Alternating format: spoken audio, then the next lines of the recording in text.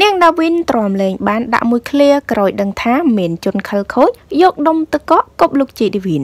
ប៉ុន្មានថ្ងៃមុខនេះហាក់ដូចជាកើតឡើងនៅរឿងរ៉ាវមិនចេះចប់ពាក់ព័ន្ធទៅនឹងតារាចម្រៀងប្រុសគឺលោកជីឌីវីតក្រោយមានគេយកដុំទឹកកកគប់លោកនេះបើយើងទៅតាម រយៈការបង្ហោះវីដេអូខ្លីៗពីអ្នកគាំទ្ររបស់លោកជាច្រើននៅក្នុងគណនី Facebook ក៏ដូចជា TikTok ដែលបានបង្ហាញឲ្យដឹងថាមានជនខិលខូចដែលមិនស្គាល់មុខ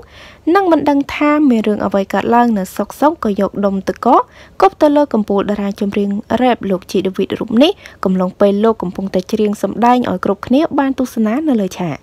ហើយក៏ឃើញថាពេលបានឃើញ idol របស់ខ្លួនត្រូវគេគប់ក៏មាន fan fan ជាច្រើនស្នើសុំឲ្យ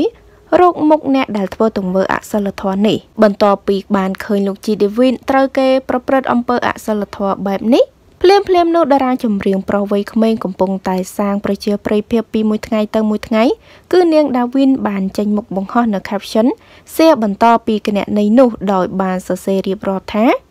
ក្នុងនាមខ្ញុំជាអ្នកសិល្បៈម្នាក់មានអារម្មណ៍អាណិតបងប្រុសណាស់តែងតែជួបនៅរឿងអសិលធម៌សម្រាប់បងរហូតសូមឲ្យតម្លៃសិល្បៈផង បងប្អូនមួយចំនួនទោះជាមិនចូលចិត្តគាត់ក៏ដោយក៏មិនគួរធ្វើបែបនេះដែរនេះជាទង្វើអាក្រក់បំផុតពេលក្រឡេកឃើញតារាចម្រៀងប្រុសនាងដាវីនិយាយបែបនេះមិនទាន់បានប៉ុន្មានផងក៏មានអ្នកស្រឡាញ់គាំទ្រលោកជីដាវីតនាំគ្នាចូលទៅខមមិនគ្រប់គ្រប់គ្នាថា ទោះបីជាយើងមិនចូលចិត្តឬក៏ស្អប់គាត់ក៏ដោយយើងមិនគួរធ្វើទង្វើបែបនេះដាក់គាត់នោះទេពីព្រោះមនុស្សយើងម្នាក់ម្នាក់គឺសុទ្ធតែមានគុណតម្លៃរៀងៗខ្លួនក៏មានពាក្យពេចន៍ជាច្រើនទៀត